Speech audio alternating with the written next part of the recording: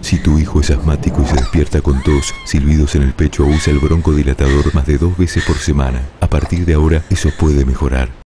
Empezá llamando al 0800-555-ASMA. Con solo 5 preguntas podrás saber si tu asma está controlada.